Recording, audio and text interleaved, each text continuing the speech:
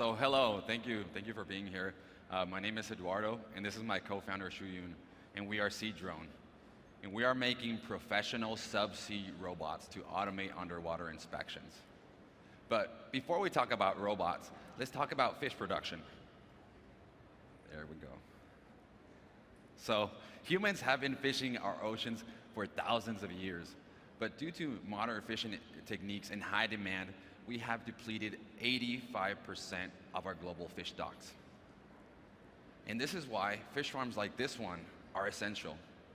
50% of the fish that we consume today is farm raised. But maintaining and inspecting a farm is extremely challenging. At 60%, structural failures are the single biggest cause of fish escapes. And inspecting these farms is very challenging. As you see, they're primarily submerged. And there are two things that need to be inspected. There's, there's a mooring line that holds these nets to the seabed, bed, and there's the nets themselves that often require daily inspection. So aquaculture is projected to be a $200 billion market by 2020, and there will be millions of cages that need daily inspection. However, farm man managers currently only have one option, which is commercially trained divers. Now, divers can be very expensive, costing thousands of dollars a day, and for safety, they always must dive in pairs, so double that cost. And absolutely the worst part of all this is when the, uh, the diver comes out of the water, he has to fill notes on paper. Now, this can be imprecise, and often critical information of the actual structures is missing. So there is a huge opportunity to make fish farming both safer and more efficient.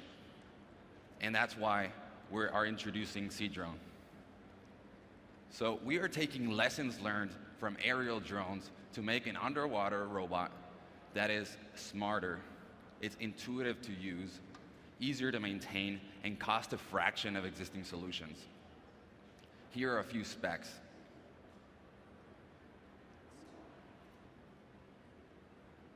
Okay, so SeaDrone weighs only five kilograms, and, and it, it, packs a lot of power. We have designed its thrusters to be replaceable. It has a gimbal camera like in an aerial drone that stabilizes the image. And one of the coolest parts about SeaDrone is we, we're designed SeaDrone to be circular, and we're vectoring its thrusters so it can hold its ground in very strong ocean currents. And not to talk about how an operator would use SeaDrone, here's my co-founder, Shuyun. Hi, I'm Shuyun. Today, I'm the fish farm operator. So let me show you how SeaDrone can help my work. First of all, let's say we already dropped the SeaDrone into the water and we turn on the SeaDrone app. Uh, could switch to another camera?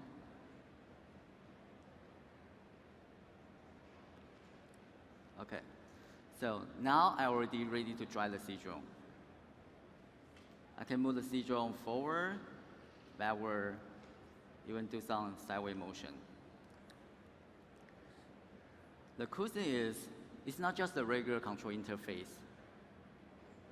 I can immediately see what kind of the inspection task I need to do today. Let's see, I need to do the uh, anchor one inspection, anchor two, three, net one, and net two. Let's start with the anchor one. And we go back to navigation. Let's pilot the SeaDrone and take some photo.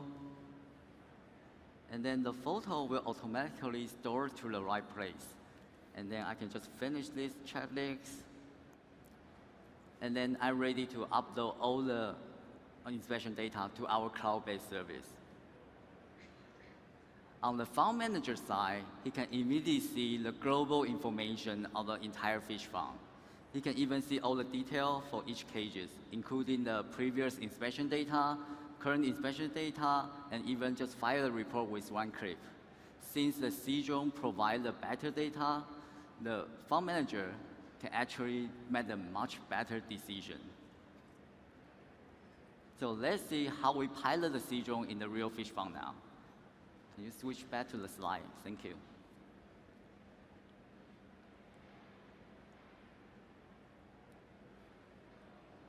Pray. Go back.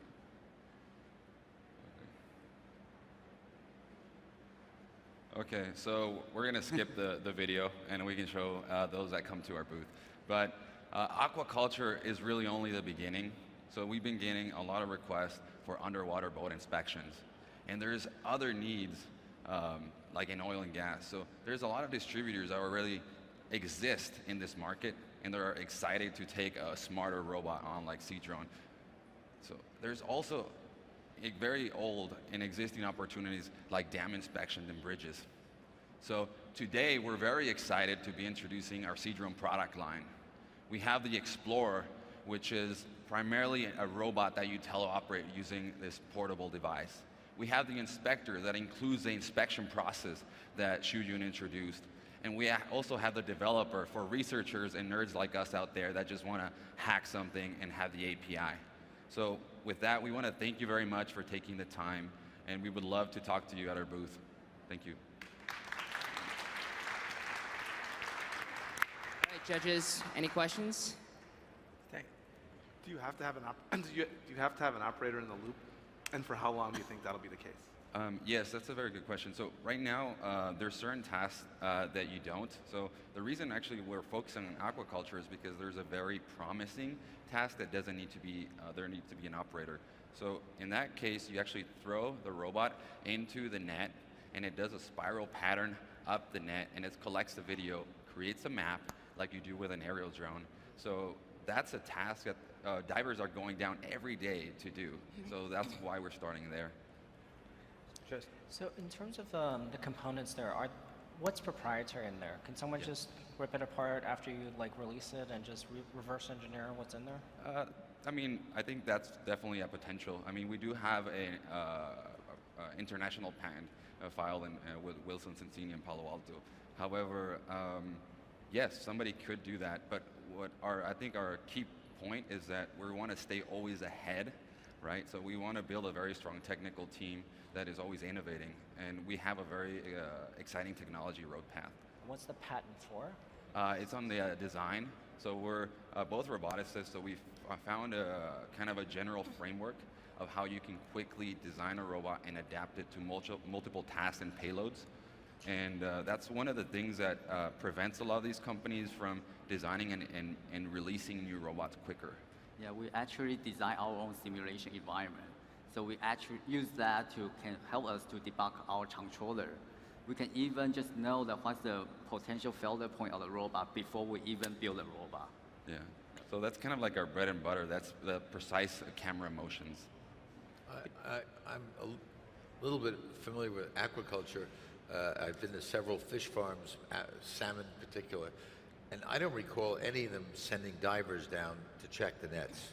Uh, and I'm wondering whether you're talking about something that's a very specific kind of fish farm.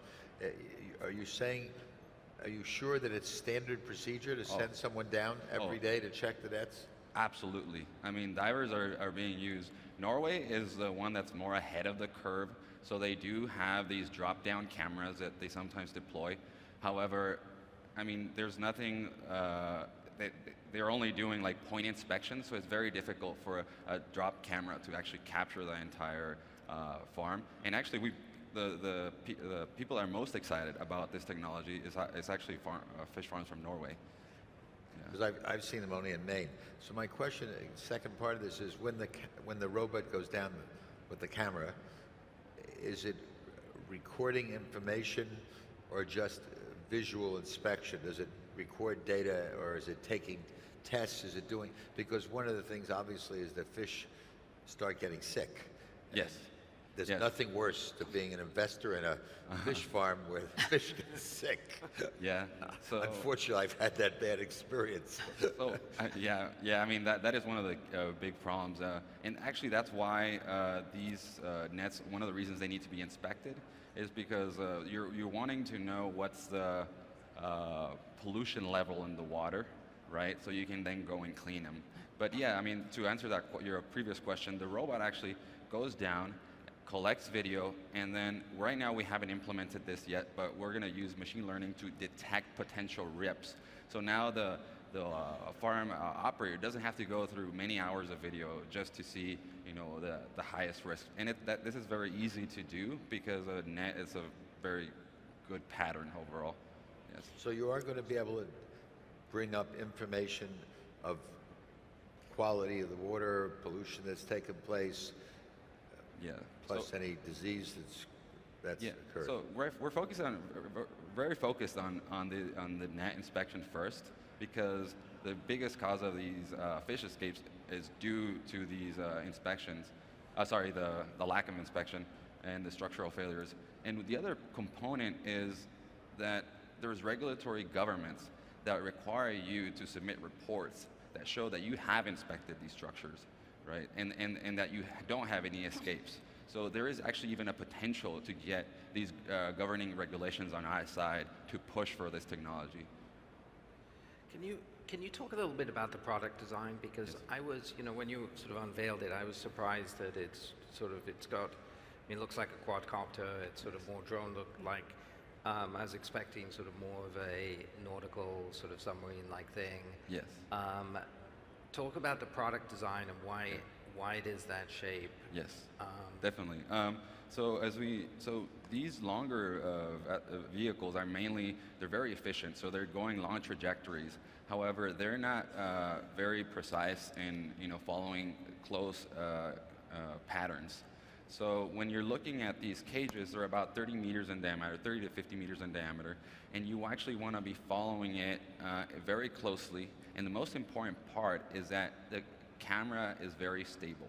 Now you can't really do this with this, these type of vehicles because they have a rudder and it it's really difficult to. I get it. Vibration. Yeah. Yeah. So what's on the rest of the table? What do you what's underneath the rest? Is Yeah, it the- cable? So there's actually we have a router that this is a router that we're. Okay. And the and the cable. Yes. Well, the so- cable there. so why, we- why is it tethered? Why? Um, talk Yeah. about that. Yeah, so uh, the reason uh, we're actually the, the one we were launching, the, the vehicle that we launched yesterday, it's like the tethered version. And a tether is, is because it's very difficult to transmit high bandwidth video back to the surface. So uh, you need to have the tether in order if you want real-time video. And this is one of the like the key, uh, use cases is these uh, deep inspections where divers can't use.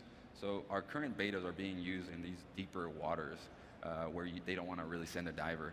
I mean, like rigs or what? sorry? Like rigs or rigs or? Uh, uh, no, right now uh, they're being used to monitor these anchors at, at- at the deep, deeper depths of these fish farms, right? Um, so again, the reason for the tether is you, you want uh, high bandwidth video. Uh, so. Um, talk about total market size. yes. Yeah, what is the Yes. price point, total market size? Yeah, that kind of good stuff. So there's multiple ways to go about it. So the there is an existing market as we described that there there's people distributors in place to take this on. So there's a ROV and AUV market, and that's about a four. Uh, well, it's projected to be 4.8 uh, billion by MarketsandMarkets in uh, 2019. Now.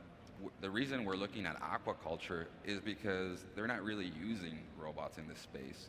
They're using divers. So existing robots actually and uh, they don't have the technology to do these uh, close uh, inspections, these re- really precise video inspections.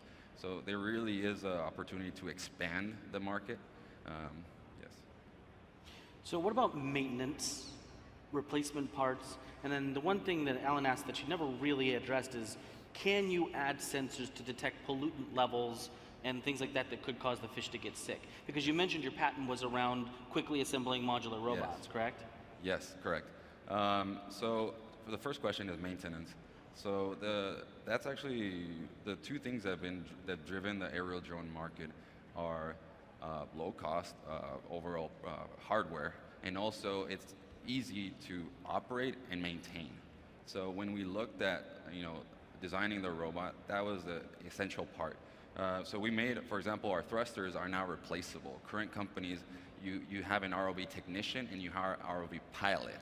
So we're actually trying to innovate so those uh, jobs don't uh, potentially exist. Uh, maybe that's a bad way to say it, but uh, so now you grab these components, you throw it away, and you replace them. And why we're able to do this is because we're able to lower the cost significantly in mass production.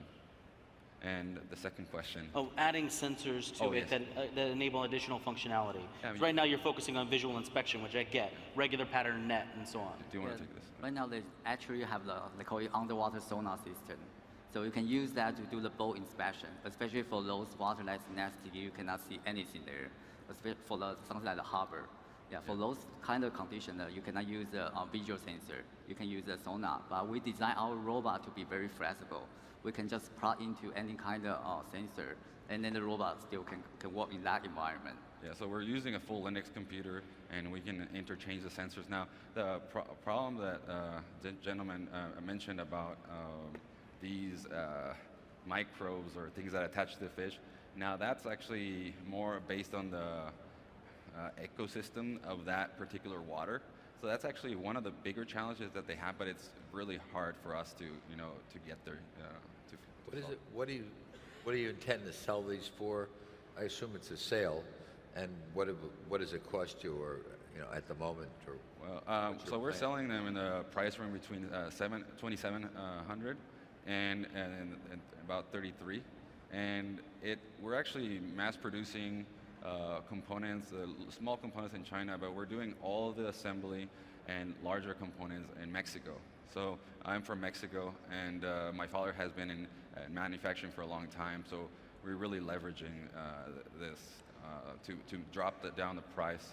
Um, so we have already strong margins, um, and I don't know if I want to get into the details, but thank you. Any other questions? All right, one more round of applause for SeaDrone. Thank you. Nice guys.